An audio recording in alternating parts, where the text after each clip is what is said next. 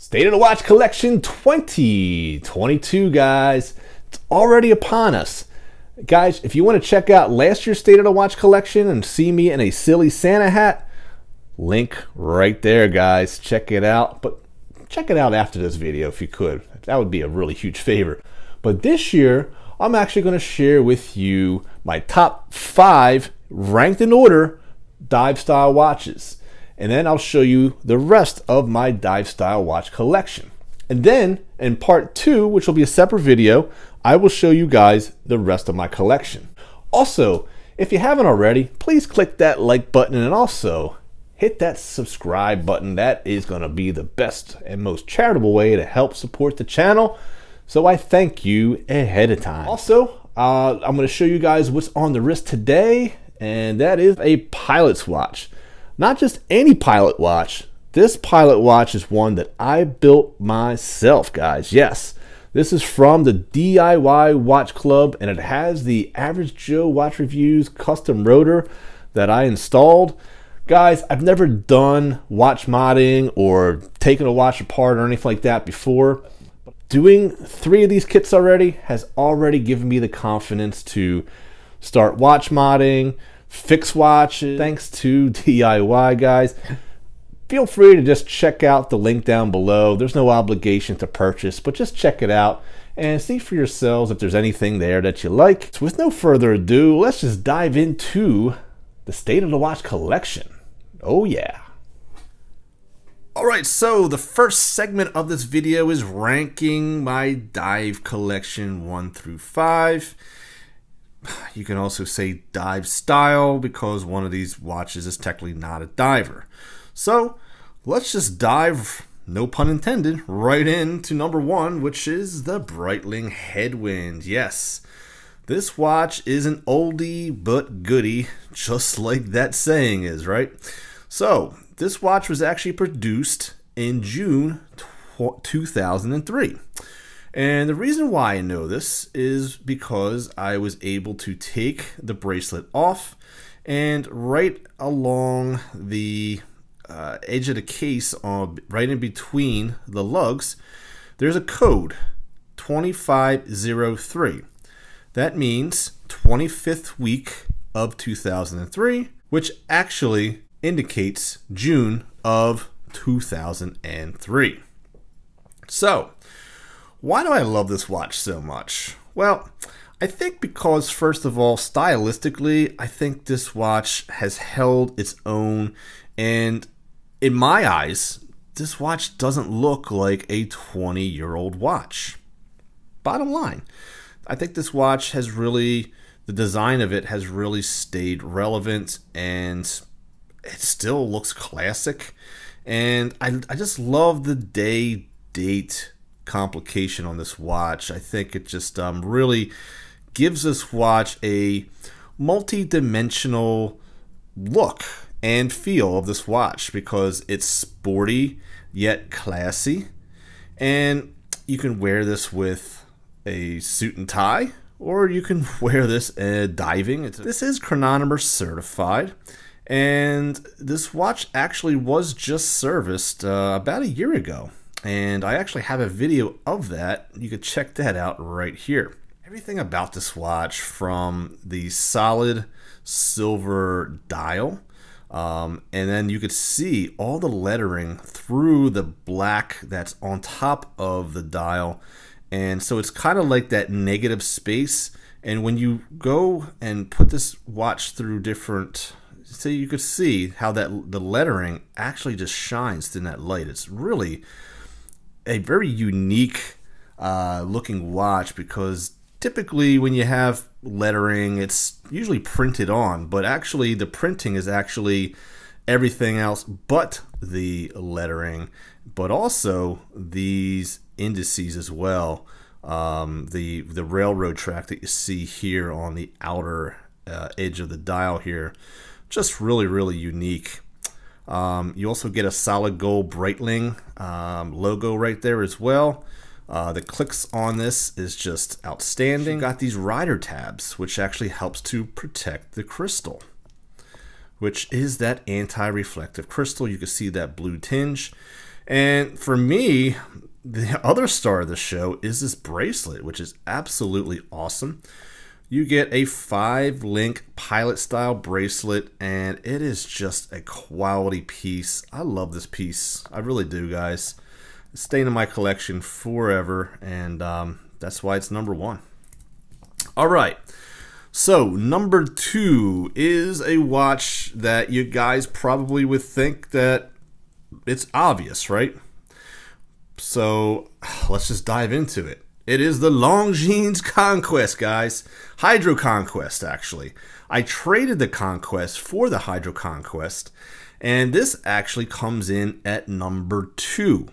Yes, I know you guys thought I was going to go for the Tudor, but I must admit that this watch gets a lot of wrist time and this watch has impressed me so much more than I actually expected. And quite frankly, I would actually trade the Tudor or sell the Tudor before I would sell this one. First and foremost, uh, we got a ceramic bezel here.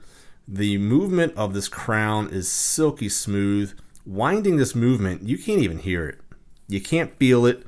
It's just it feels like quality. I love the gold hands, how it just contrasts up against the blue sunray dial. And this is just a stunning piece. This also does come with the two-tone bracelet.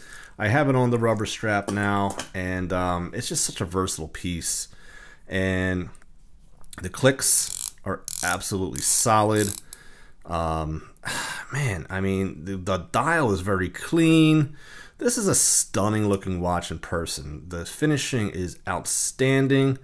I just, I'm so impressed by this watch at this price point. It's just, um, I'll tell you, this watch has really grown on me in such a short period of time that it actually has edged out the, the Tudor Black Bay GMT. So there you go, there, guys. Big, big surprise, right? Uh, also, the lume on this is excellent as well, using that BGW9. All right, so what's number three? Well, I think I kind of said it. It is indeed the Tudor Black Bay GMT. So yeah, it is not a diver because it does have the bi-directional bezel. It doesn't have the uh, uh, illuminated pip.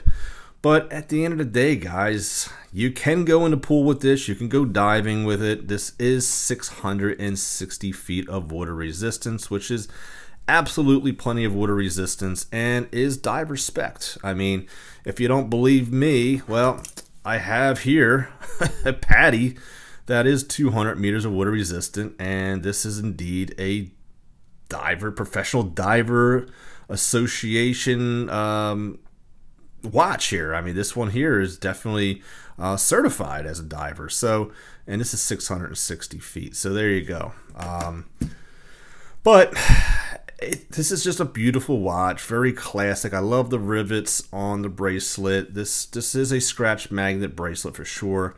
Um, I'll tell you, using these ceramic bearings here really is just something that you have to feel to appreciate I love how they incorporate that Tudor uh, shield there, but again, just a really classic looking watch. Um, very smooth with the winding. It is that true jump hour GMT. You can go back and forth, no problem. Um, everything just works on this watch extremely, extremely well.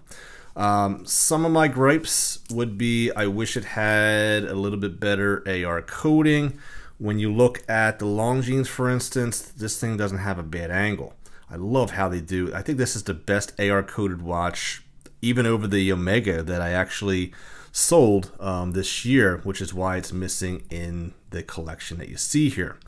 Um, so I wish they did a little bit more AR. I wish it was a little thinner. I wish it was a little bit smaller even. Um, it's just a really big watch, guys. So um, I actually would be open to uh, selling this one and just waiting for Tudor to come out with a just a smaller version of this, maybe even with a ceramic be bezel.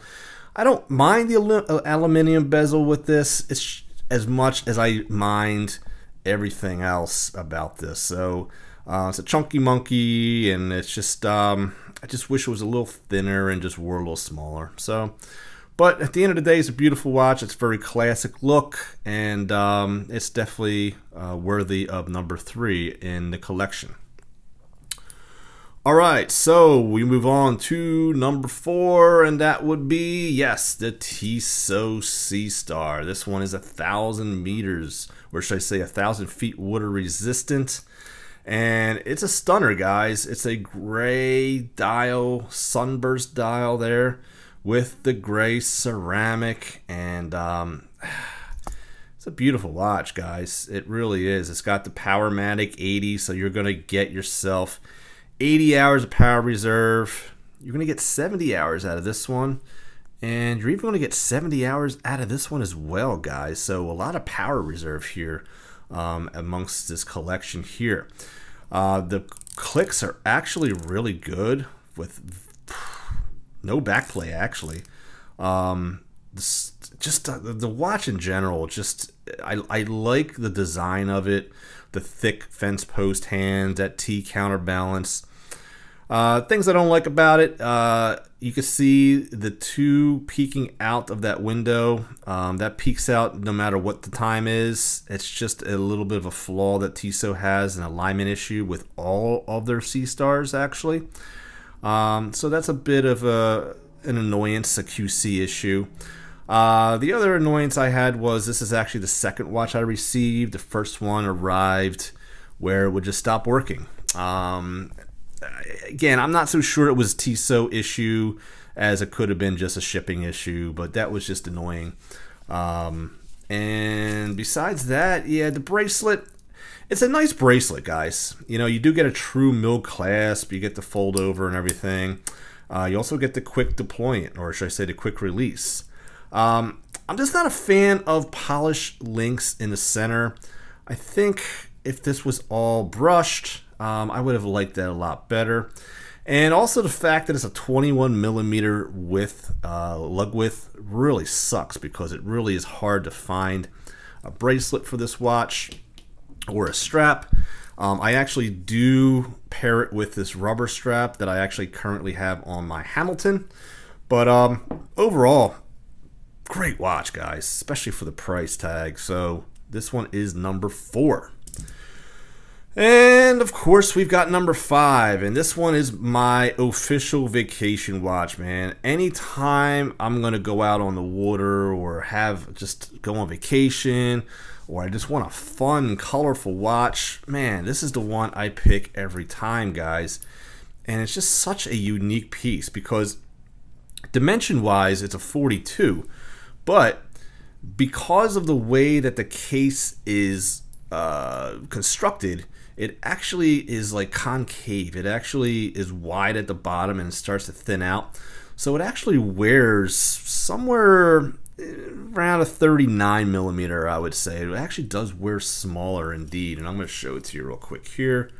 Um, on my 7 inch wrist. There it is. Just a really cool watch. But, I mean, does that look like a 42 to you guys? Absolutely not, right? And I think the lugs actually help with that, that illusion as well. Uh, because this is the Irukandji, look how sharp and stubby these lugs are. That really does help, right? Bezel action is absolutely incredible with this one. It's 120 click. I know some of you guys out there hate that. I like the way it sounds. It does feel good. There is a little bit of back this isn't the greatest. Um, I definitely would like to improve on that. And I would have loved to see some anti-reflective coating on this as well. Um, so hopefully when 2.0 comes out, um, he can improve on that. I do love the fact that you can get the crown at 10 o'clock. That is so cool. Um, just a really cool watch, guys. So this one is definitely worthy of number five, the MAS Irukandji. All right, so that takes care of my top five. So, how about some runners up? Um, look, when you have a top five, guys, there's only five positions, right? And it doesn't mean that the others aren't worthy. It's just you only have five, right? So, Coming in at number six is technically this is a stretch because it is technically a diver. It is a compressor compressor style. It is a GMT as well, and that is my Hamilton khaki navy GMT done in rose gold. It's a beautiful watch, guys. A little large at a 44 millimeter in case diameter. Um, this watch could definitely use some anti-reflective glass. But um, it's just such a cool watch because it does so many things. I mean, you can use it as a diver, as you can see here. Again, the issue is, though, um, you don't have the lume uh, for the pip, so you're not going to be able to do much in underwater with this, but it does have that 660 feet of water resistance. And your GMT is actually this this little uh, disc right here uh, where it says T2. That's your time zone 2. And as you can see, it is indeed 525 Army time because that is a 24 hour. But man, a lot of reflection in this glass. But um, it's still a cool, unique watch. I love pairing it with this uh, Straps Co strap here, rubber. And um, I think it looks great on that strap, by the way. I just, I really love it. So there you go. I would say this is number six. All right, so if I have to pick a number seven, I would probably go with the Seiko PADI Turtle, guys. Yeah, this is definitely a beach watch. Uh, I wore this to the beach this year, actually, and, um, you know, had it in the sand and the ocean and you know, it does its job. It's a very capable watch. As I said, it's PADI certified. This is an official diver's watch. Uh, beautiful coloring with the red, white, and blue, and uh, it's a good size. And it wears well on the wrist, and it's just, man, it's just one of those classic Seikos that um, it's not leaving a collection, guys. I just have to say. All right. Um, after that, I really can't go in any particular order. Um, I guess the next one I would probably say I wear is definitely between this one and this one. Now, this is the Seiko 5 Sports. This is done with some rose gold elements. I do have it on a sail cloth strap from Artem. And I'll tell you, obviously, this is a Blancpain 50 Fathoms homage, right? But it's definitely got its own personality, its own um, look to it. Uh, we do have that mineral crystal, as you can see, there's a scratch there in the center. You do get a mineral crystal on the outside too on the bezel. Little bit of that spongy feel, a lot of back play. Luminescence is good. No hand winding, no screw down crown, and the water resistance is definitely weak at 100 meters, which is 330 feet. Speaking of a diver that's really not a diver, even though you do get the lume pip and you get that unidirectional um, bezel, this watch is only 50 meters of water resistance, guys. No screw down crown. It does it does hand wind. It is an acrylic crystal. This is really a dive style watch, and to be quite honest with you, this Tudor is more of a diver than this Timex, just for water resistance alone. Um, but again, it's a cool watch, guys. It's the Bat, it's the Batman, it's the masked Marvel um, exhibition case back. Really cool hair pulling um, bracelet here. Not a strap monster because, as you can see, it's got a very unique way of uh, integrating into the case there, but just a cool piece. Yeah. Overpriced? Absolutely. Um, but it's a classic, and um, you know it's your Q Timex, and it's got that 78 vibe, 1978. So there you go. All right. Um, another one I wear pretty often would be this Luminox. Yes. Um, 60 click bezel. Um, it's just a cool blackout watch. This is the only Easy Day was yesterday watch. And you could see that right there on the inside there. Again, another watch that could benefit from some anti-reflective coating. This is a pretty deep dish watch, as you can see. You've got that Swiss quartz movement, and you can see that second hand. There you go. The second hand is actually at the three o'clock position.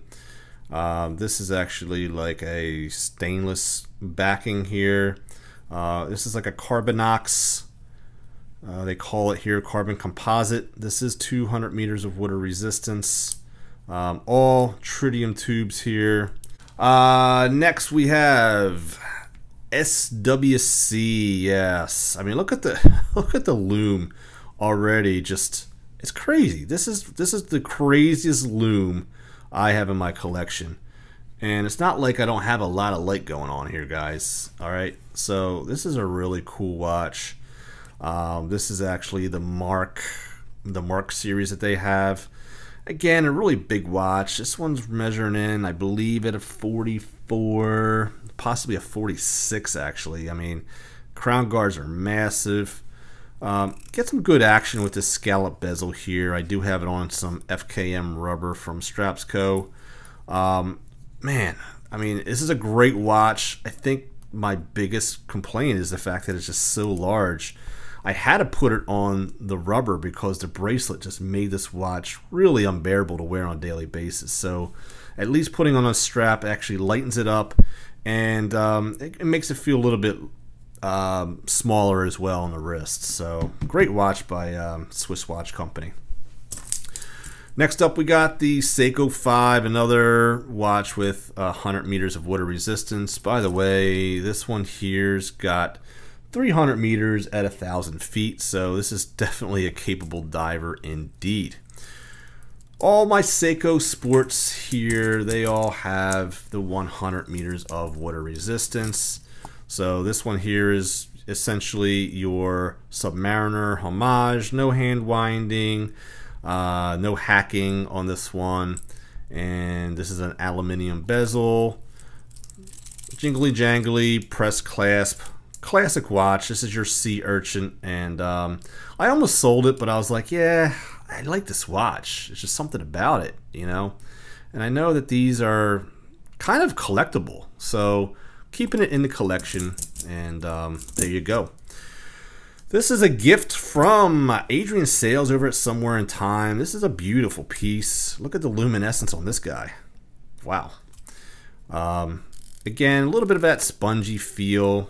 Um, just a very unique watch. This is your monster. Again, no.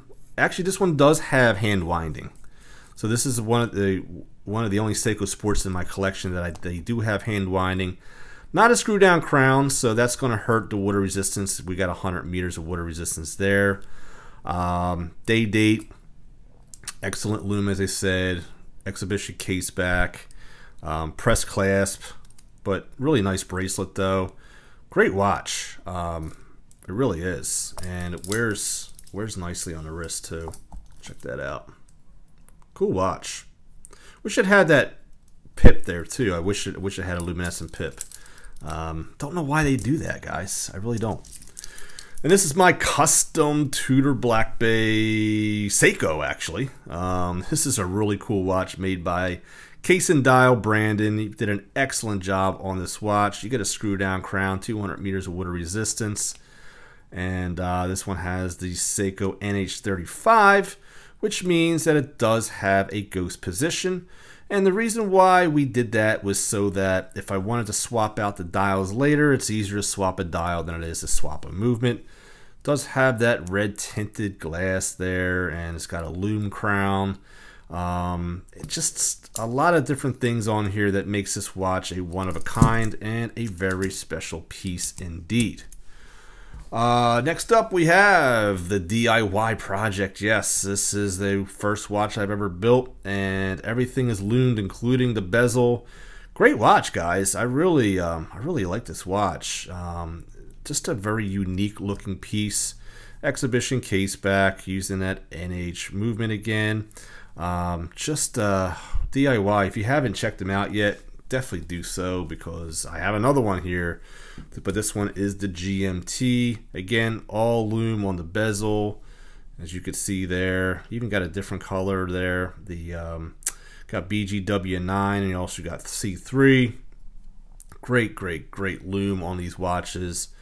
Again, the uh, this one is the NH34 GMT movement. Great, great, great watches, guys. If you haven't tried out DIY, definitely check them out. I'm going to put a video up here for you to check out how, I don't want to say it's easy to put together, but it's fun. It's fun. Uh, last one on the list is the Skagen, guys. This one is surprisingly good. Um, this is a fun watch. The bezel action on this is really good. Um, again, dive style watch. You obviously you don't have any, you know, uh, numbers on the bezel here. There's no lume on that. Uh, the lume on here is actually pretty decent. Uh, for a watch that's under a hundred bucks, this watch is pretty impressive. I mean, even this rubber strap feels really good on the wrists, and it just it feels like a solid watch, guys. It is a quartz watch, but bezel action's great. The lume is above average. The looks on it is just a lot of fun, and um, I don't know, man. It's still it's staying in the collection. It's just one of those summer watches that you just can't you can't get rid of. So there you go, guys. That's my diver collection. Stay tuned because I'm going to then give you guys a look at the rest of my watch collection in another video coming up soon. So thank you so much for watching. Take care of each other. Always time to be kind to one another. Thank you so much, and I'll see you guys next time on Average Joe Watch Reviews. God bless, my friends.